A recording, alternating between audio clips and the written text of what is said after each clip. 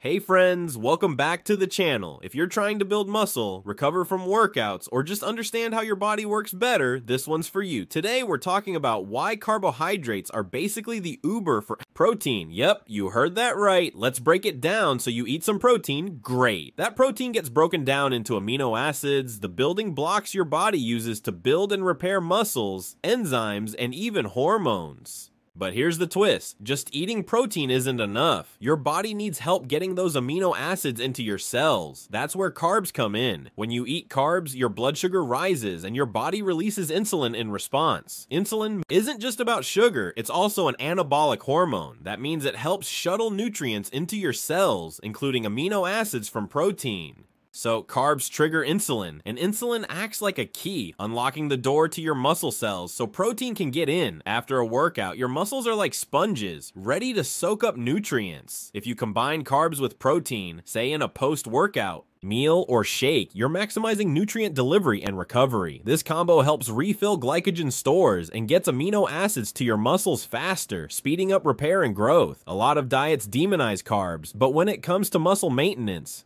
hormone balance, and energy, carbs play a key supporting role. Think of them as the road crew that helps the protein do its job. So next time you're planning a meal, especially post-workout, don't skip the carbs. They're the ultimate support act for protein. If this helped you out, drop a like, subscribe, and let me know in the comments what other nutrition myths you want me to bust.